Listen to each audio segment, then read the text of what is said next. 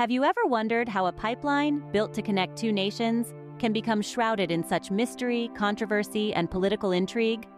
Today, we delve into the enigma of the Israeli Iranian pipeline.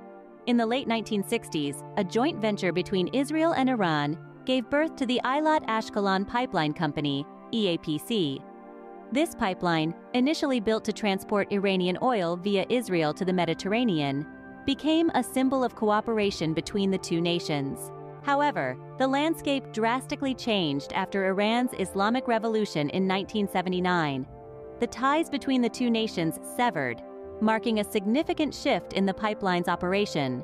Despite this, EAPC continued to exist, transforming into a major distributor of oil in Israel with ambitions of becoming a leading trade hub. In a twist of events, Israel formed a new company in the 21st century, the Europe Asia Pipeline Company, EAPCB, this new entity was formed to replace EAPC and maintain control over its operations. This strategic move ensured that the pipeline's operations remained under Israeli control, further deepening the intrigue surrounding it. But the mystery doesn't end there. An Israeli parliamentary committee ruled that EAPC can continue to operate in secrecy. This gag order has been extended for five more years and now includes EAPCB. The reason? it remains undisclosed, adding another layer to the enigma. The secrecy surrounding EAPC has not been without criticism.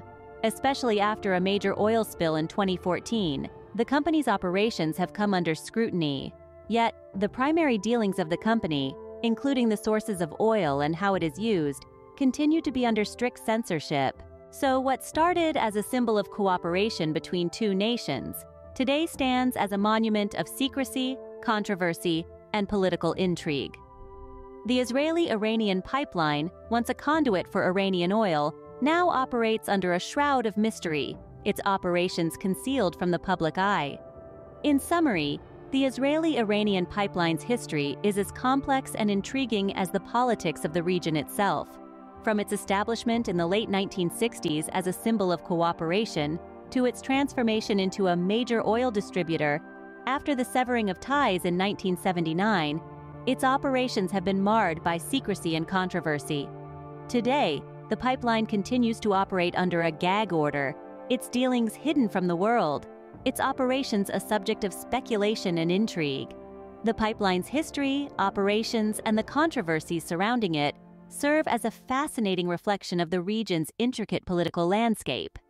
As the pipeline continues to function in secrecy, it remains a testament to the enduring mystery and intrigue that surround it.